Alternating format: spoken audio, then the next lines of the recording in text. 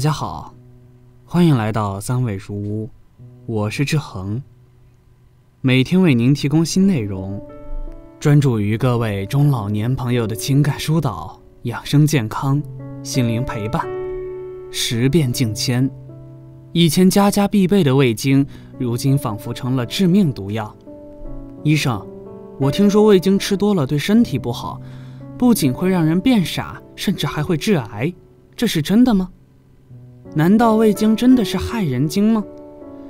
前两天，一个患者来医院检查的时候，向医生提出了上述的疑问。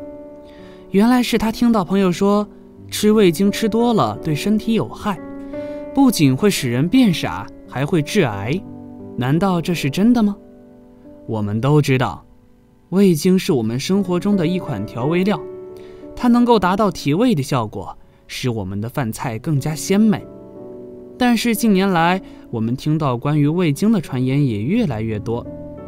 数据显示，我国味精的消耗量已经从2013年的114.6万吨下降到了每年近80万吨。伴随着味精市场需求量的不断缩减，味精企业也逐渐衰败。这头，国人在抵抗味精，而另一边的韩国却有人沉迷吃味精。韩国男子三十八年吃掉两千七百七十四千克味精。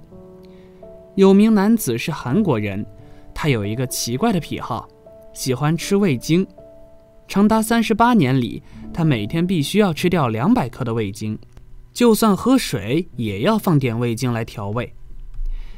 男子表示，这辈子吃到最美味的东西就算味精，如果不能每天吃味精。人生要多么寡淡无趣！有个视频画面显示，男子与某位同事一起共餐，男子在自己饭菜加了三勺味精，又在米饭里拌入了一勺。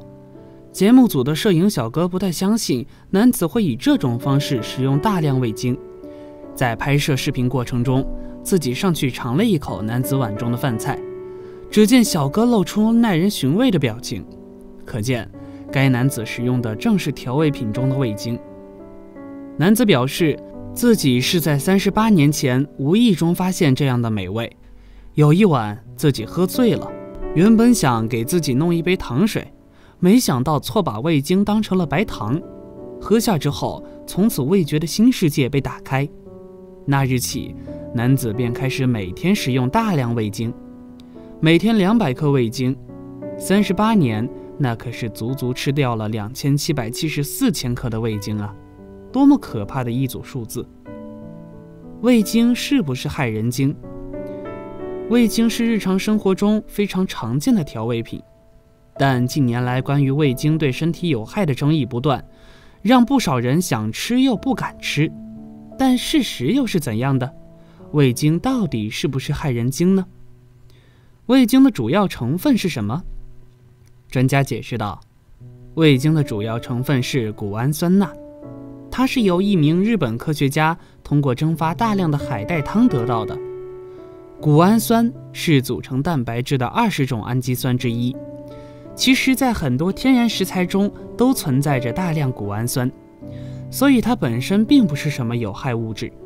但是，以蛋白质形式出现的谷氨酸不会在味道上产生影响。”只有游离的谷氨酸才会呈现谷氨酸盐的状态，而产生出五味之上的另一种味道——鲜。现代产品工艺中，通过从玉米、海带、小麦等天然食物为原料，经过发酵或生物工程技术制取，就可以提取出谷氨酸钠。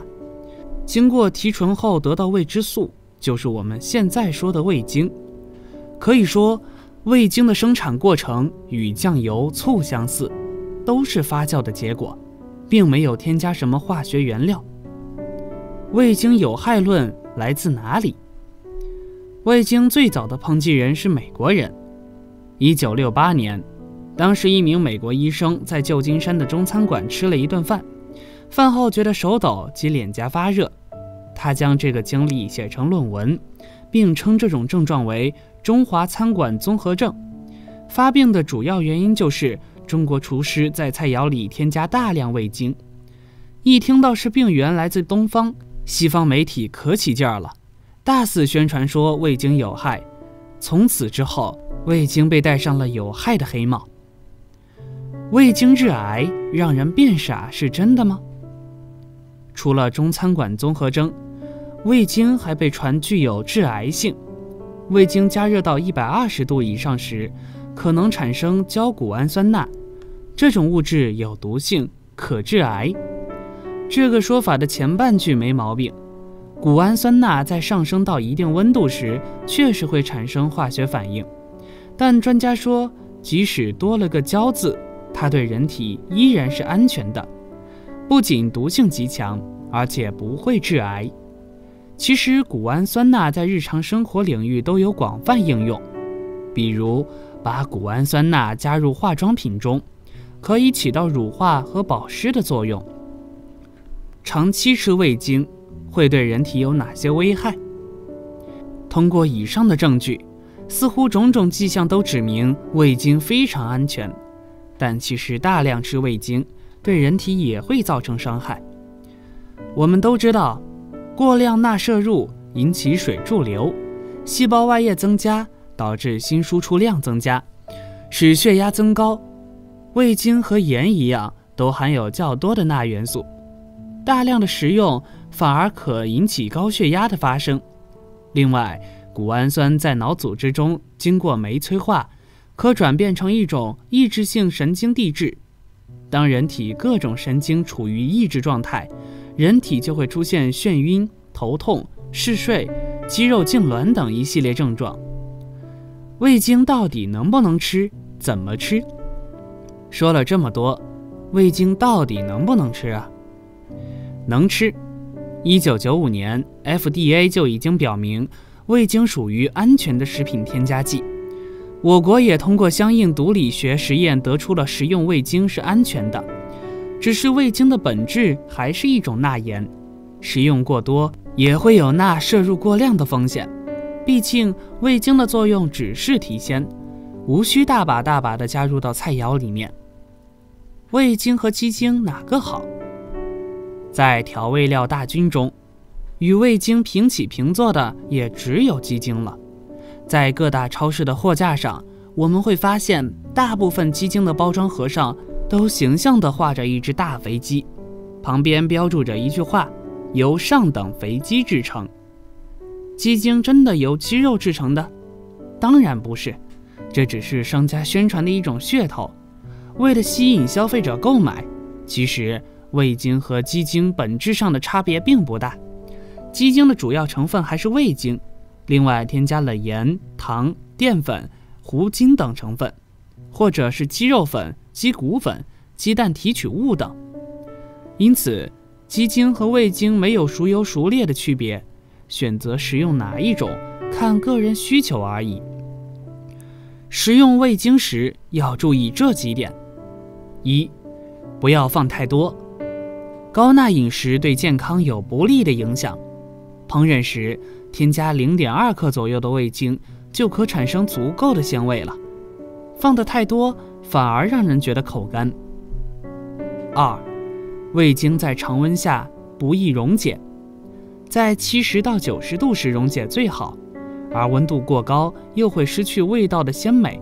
所以，放味精最好的时候是菜品将要出锅时。三，烹制含酸性、碱性强的食物时。不宜使用味精，味精遇碱会合成谷氨酸二钠，会产生氨水臭味。自制味精更健康。如果对市面上购买的味精不放心，可以尝试自制味精。需要准备的材料有虾皮、干香菇、鸡胸肉、白砂糖等。取虾皮一百克，鸡胸肉一百克，干香菇三十克，白砂糖二十克。先把鸡胸肉蒸熟，晾凉之后用手撕成细条，然后放进微波炉里烤干。虾皮和干香菇洗净之后，也放入微波炉烤干。接着将鸡胸肉、干香菇、虾皮一同放进粉碎机打碎，最后加入白砂糖即可。我们的生活已经离不开味精的鲜味了，即使你完全不用味精，它也会存在于我们的各种调料中。所以只要适量就可以放心的吃。好了，这篇文章到这里就结束了。建议大家一定要发给身边所有的中老年朋友们看看，也不要忘了右下角点击订阅，和志恒相约，每天不见不散。我们一起成长，一起幸福。